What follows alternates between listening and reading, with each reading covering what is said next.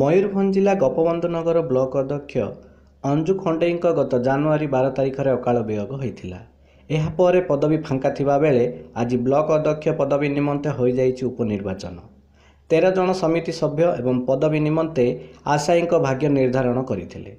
ସକାଳ ଦଶଟା ପରେ ନାମାଙ୍କନ ପତ୍ର ଦାଖଲ ହୋଇଥିବା ବେଳେ ରାଣୀବନ୍ଧ ପଞ୍ଚାୟତ ସମିତି ସଭ୍ୟ ସୁକେଶ୍ୱର ମଡ଼େଇ ଏକମାତ୍ର ପ୍ରାର୍ଥୀ ଭାବେ ନାମାଙ୍କନ ପତ୍ର ଦାଖଲ କରିଥିଲେ।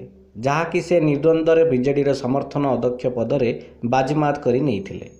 ନିର୍ବାଚନ ଅଧିକାରୀ ଭାବେ ଉପଜିଲ୍ଲାପାଳ ଏବଂ ବିଡ଼ିଓ ରହି ଏହି ନିର୍ବାଚନ ସମ୍ପାଦନ କରିଥିଲେ। ଏହି ନିର୍ବାଚନ ଜିତିବା ପରେ ଏହାକୁ ବିଜେଡି ମହଲରେ ଖୁସିର ଲହରୀ ଖେଳିଯାଇଛି। ଆଜି ନବୀନ ପଟ୍ଟନାୟକ ପାଇଁ ଆଜି ମୁଁ ଏଠି ଚେୟାରମ୍ୟାନ୍ ହେଇଛି। ଆଉ ସେଠି ମୁଁ ବହୁତ ଖୁସି ଖୁସି ଅଛି।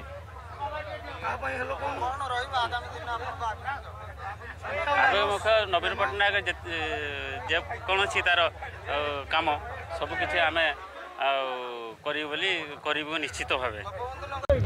ଦେଖନ୍ତୁ ଆଜି ସାଧାରଣ ନିର୍ବାଚନ ପରେ ଏଇଟା ଗୋଟେ ଉପନିର୍ବାଚନ ହେଉଛି।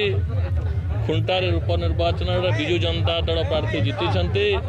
ତେଣୁ ଆକୁ ମଧ୍ୟ ବିଜୟର ଯାତ୍ରା ଏ ବିଜୟ ଅବ୍ୟାହତ ରହିବ।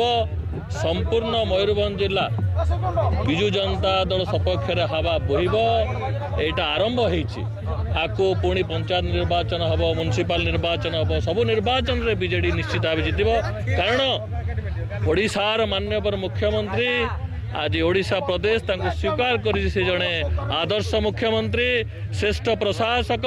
ଏ ବର୍ଷ ମଧ୍ୟ ସେ ଜଣେ ଶ୍ରେଷ୍ଠ ଆଦର୍ଶ ମୁଖ୍ୟମନ୍ତ୍ରୀ ଭାବରେ ତାଙ୍କୁ ଭାରତବର୍ଷର ସମସ୍ତେ ସ୍ୱୀକାର କରିଛନ୍ତି ମନ୍ତ୍ରୀ ସୁଦାମ ମରାଣ୍ଡିଙ୍କ ସମେତ ବହୁ ବିଜେଡି ନେତା ବିଧାୟକ ଏବଂ କର୍ମୀ ଉପସ୍ଥିତ ରହି ବିଜୟୀ ପ୍ରାର୍ଥୀକୁ ଅଭିନନ୍ଦନ ଜଣାଇବା ସହ ଏନେଇ ଏକ ଶୋଭାଯାତ୍ରା ବଜାର ପରିକ୍ରମା କରିଥିଲା।